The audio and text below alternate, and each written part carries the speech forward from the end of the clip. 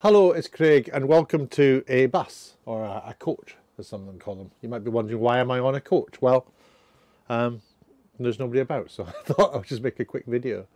Um, I'm now entering. I can't remember what it is. I think it's week nine, uh, and I'm getting. I'm delaying get uploading these, which is just because of time, really. But uh, I did the weigh in uh, last Monday, and um, it went very, very well. I have lost another over five pounds, more than five pounds, I should say, and that brings me up to over four stone weight in loss. So that's a lot, and I'm super chuffed about that. For the first time in, it's got to be like seven or eight, six, six or seven years. I've I'm under twenty stone, so so I know it's still heavy, being 19 stone something, but uh, you know, it's, uh, you know, maybe I can lose another four stone. Who knows? Um, I am nearing the end of the NHS shake and soup diet. I have another, I think, three weeks to go. And um, already they're talking to me on the app. I can't show you the app because I'm using it to record this, but uh, it's already prompting me to start thinking about what you're going to do after the 12 weeks. Uh, the whole program doesn't just end there. You you're continued to be monitored um, as you uh, go through your, um, you know, the rest of the year, your full 12 months, uh, and they uh, help you make good decisions about what food you're going to eat. Uh, I'm already kind of like in my head. I'm thinking, right, I'm I can have a blowout. I want to have a blowout, and but for me, and I don't. I don't because I because it's alarm bell straight away. But part of me thinks, yeah, you should be allowed to have like a pizza, or maybe have a cooked breakfast every now and then.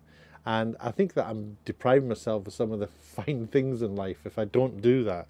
But what I have to do is not do what I did before, which is become addicted to eating like that. I was in a pretty bad place, maybe in my head, about my attitude about food. I was not comfortable with myself.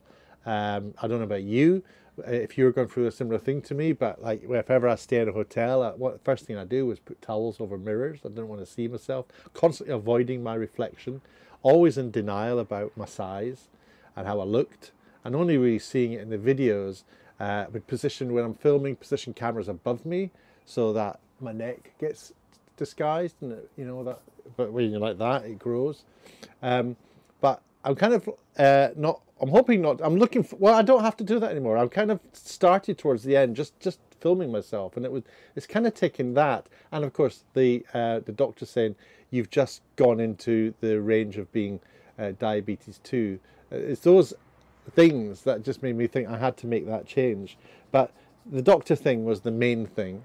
You know, uh, this is um, you're now getting you're seriously endangering your life uh, by just enjoying pizzas and, and just enjoying fast food and just making these snap decisions about what you're going to consume and how you're living your life.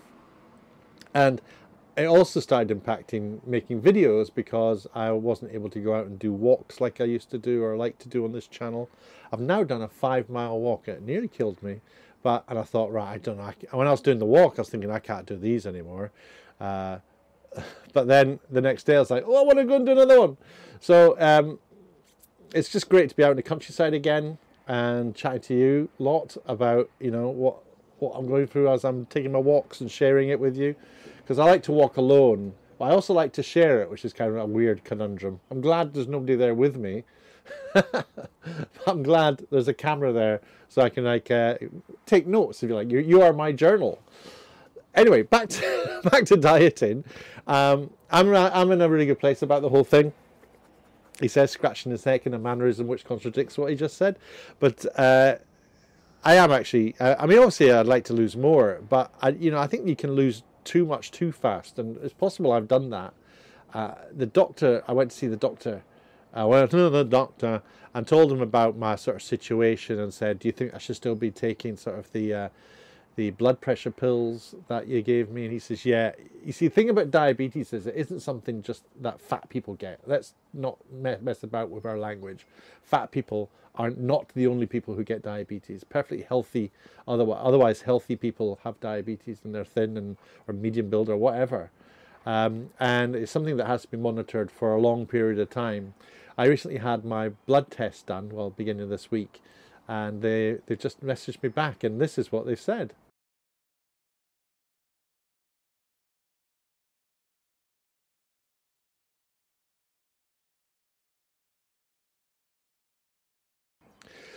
So that's pretty good. Um, kind of my blood sugar levels are officially, according to the doctor, normal. They've actually done the proper tests with my blood. I've taken it out of my arm and testing it properly, and everything's normal. So I'm super, super, super pleased about that. And they're going to do another one in September. But this diet has worked for me. It's, I think it's possibly got me out of uh, diabetes, and I can now concentrate on living a full and healthy life. Now, I did have one issue about heart rate. My my watch, which you might be hearing beeping in the background there, is telling me that that my heart rate is lower than average. Now, when you Google things on the internet, it says like, oh, anything below 60 beats per minute, go and see your doctor.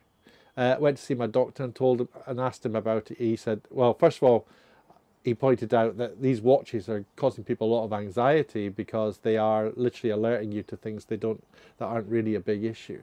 They're panicking people, and um, he said that his heart rate was like about 54. You know, and he's a healthy. He was young. Uh, you know, obviously he's in the 30s. He's in his 30s or something. But uh, he said my heart rate is perfect. Um, and he, we, you know, he thought it's probably the blood pressure tablets that's keeping it like that, or or something to do with my dieting that's keeping it like that. So it's all going pretty well. I'm uh, very pleased with it. Um, you might be wondering, well, what's your weight? Well, I say I lost another five pounds, uh, and I can't remember my weight. What's five pounds off what I said before?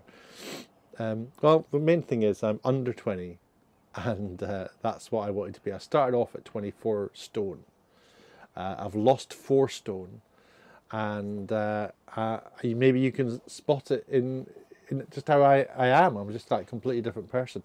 One of the best things I've noticed is I don't snort anymore. I don't heavy breathe, which which I started doing in the videos, and it's just awful. I don't think I'm doing that anymore.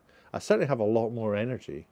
Uh, I, like I can get off the steps like this coach. I can just walk down the steps normally, whereas before I'd have to like step, step, and catch up, and the other foot would have to catch up and step, and the other foot catch up life is just very, very different. And I'm like, I started thinking that, well, this is just all part of getting old, but it's not. You, you know, you, you, you're, you, they say you're not as, you're as old as you feel.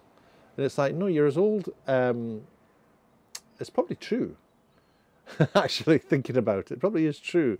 And if you feel, if you're like, you know, 50 something or 40 something and you're feeling really, really terrible, you shouldn't really be. So, it, and so much is it's down to diet and how it affects you, how you feel. So anyway, I'm in danger of getting a bit lectury now. I've lost a bit of weight, and I'm super conscious about stuff like that. So I hope that uh, everyone who's doing this along with me uh, is having successes with it. I know these videos aren't getting many views, um, but I know that there is like some people who are absolutely, even if it's just a couple of people, I'm happy that these are helping them uh, and helping them get through it. But keep at it. The, don't think of it as a shake or a soup. Think of it as a medicine, uh, and uh, stick with it. The time flies by, uh, and uh, as you start to lose weight, uh, my advice, although I'm not a doctor, is get out a little bit. Start pushing yourself a little bit more. Keep monitoring your heart, and if it starts getting over about 120 or something like that, then just stop. Bring it back down. Get back down to 70 or 80 and then just take a few more steps. Just start doing two mile walks. Just walk around your block. It's boring if, if you make it boring, but uh, get into audiobooks. Get yourself a free Audible, know, get Audible account or something. not sponsored by Audible. Um, and listen to audiobooks. And while you're losing weight and exercising, educate yourself about the world. Get some history and biographies under your belt. That's what I'm doing, and I'm loving every minute of it. Anyway, thanks for watching. Uh, take care of yourselves. Uh, and I'll see you next week when I upload the Uh, oh, we're getting close to the week 12, but uh, I can't remember what week I'm on. I've already already, already forgotten. Have a good have a good day. I'll catch you later.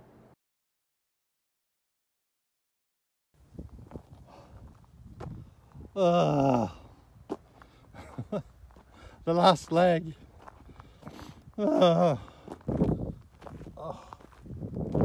Good lord.